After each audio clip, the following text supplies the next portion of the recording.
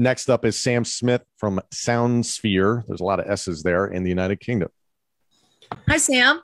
Hi, Tom. Hi, Mickie. So, thinking back, it, actually, let's say we're moving ahead after Bound for Glory. Let's imagine when you get past Mia Yim, which you will. Um, you. Exactly. So, oh.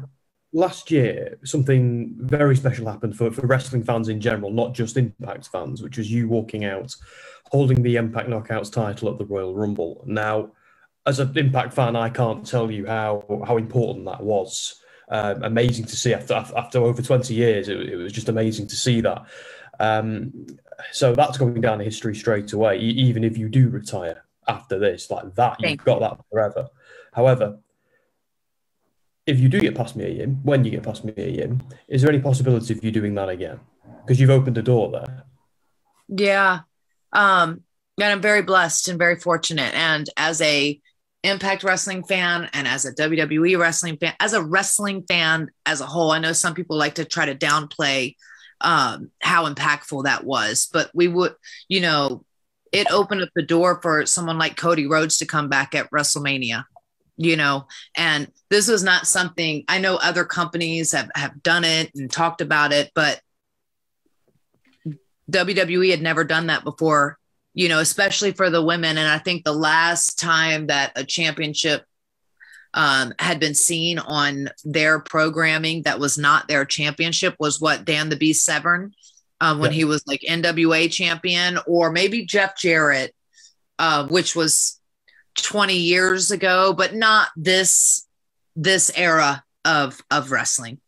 Um, and I felt like it was important to me uh, for for many reasons to have that um, closure. I think because of the circumstances, and I knew it wasn't a purposeful thing um, when I left, and I was blessed to be able to be the knockouts world champion. And if i was going to go back to the rumble i wanted to represent impact and i wanted to represent that championship with class.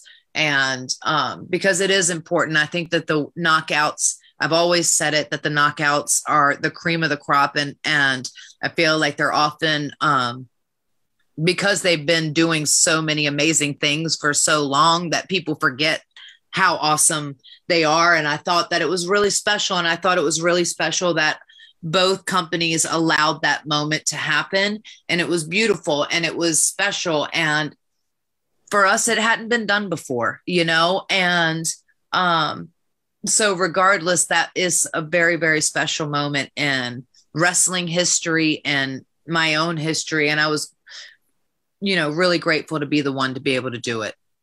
So yeah i mean who's to say?